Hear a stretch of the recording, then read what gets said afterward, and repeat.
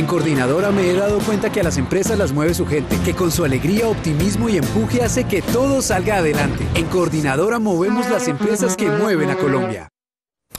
Hola, buenas tardes. Eh, bienvenidos a la información deportiva. En su asamblea ordinaria, la DIMAYOR dictó sentencia sobre los disturbios del fin de semana en el estadio Atanasio Girardot. Además, esta mañana la alcaldía de Medellín y la mesa de seguridad y convivencia anunciaron otras medidas. Pero vamos al estadio, allí está Andrés Álvarez. Ahora sí, ¿cuáles son las medidas para los próximos partidos del Medellín? Buenas tardes, Andrés. Por medio de cámaras de seguridad ubicadas acá en el estadio Atanasio Girardot, fueron identificados 20 hinchas que ocasionaron problemas en el partido entre Medellín y el Deportivo Cali. Se suman a los 11 que habían sido conducidos por mal comportamiento.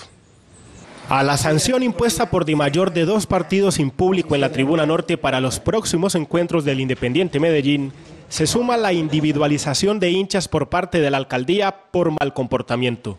Tenemos identificadas en este momento ya 20 personas que ustedes van a empezar a ver ya las imágenes, más 11 personas que durante el partido fueron conducidos por porte de armas, por porte de drogas, por generar riñas con cada video de las cámaras de seguridad ubicadas dentro del Atanasio, se identificó uno por uno a las personas que causaron inconvenientes durante el partido entre Medellín y el Deportivo Cali.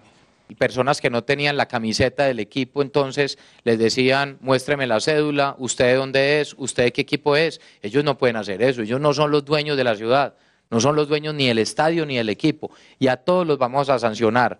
La Mesa de Convivencia y Seguridad en el Fútbol quiere erradicar definitivamente el mal comportamiento del máximo escenario deportivo de Antioquia. Estos no son hinchas. Esas personas lo que tienen es una actitud criminal. En total son 31 personas las que no podrán ingresar a los partidos del cuadro rojo de la capital antioqueña, por lo menos durante un año.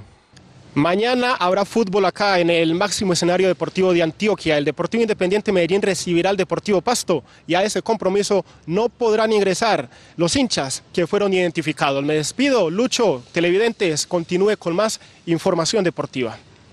Gracias Andrés, no cabe la menor duda, es una minoría la que le hace daño a la gran mayoría de los seguidores de los equipos. A esos son los que hay que poner en cintura.